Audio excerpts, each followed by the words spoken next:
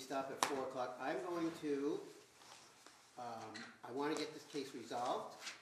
This case is going to get um, scheduled, we're going to take this case up again Thursday at eleven thirty in this courtroom. Counsel will be here. Your Honor, if I may, may, may I just say something, please? You may. Hold on, let me get my calendar out.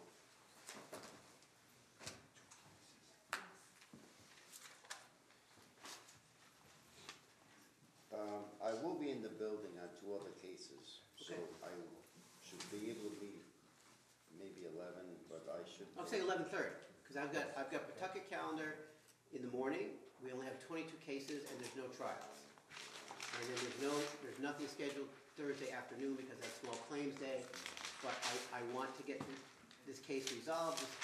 We're so far into it, I- and there's gonna be some scheduling problems where it's gonna, would have to go out a couple of weeks, and I don't wanna do that. I wanna do it while it's fresh in everybody's minds and give everybody a chance, give everybody their day in court, and we can devote the morning and the afternoon to this case. I can't imagine we'll go beyond that, counsel.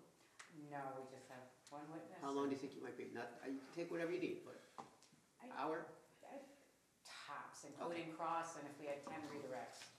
Okay, Your all I so, just wanna make it clear, I will be in the building on two cases upstairs, um, and I will which second. family court? Yeah, I have two matters, they, they probably will be over quickly, because they're already Okay. started hearings, so. Okay. And I just have a determination of attorney upstairs. So five what, what I would say, what you should do, is I, I'm assured by the clerk we're gonna be done no later than eleven thirty. You might wanna, if you both finish your cases, you might wanna check in a little earlier if you're here, and as soon as I'm done with the other cases, I will, I'll take it right up. Okay, I'm gonna hold on to the exhibits. And I got one walk-in I gotta take care of. So I'll see everybody here at eleven thirty on Thursday, okay? Thank you.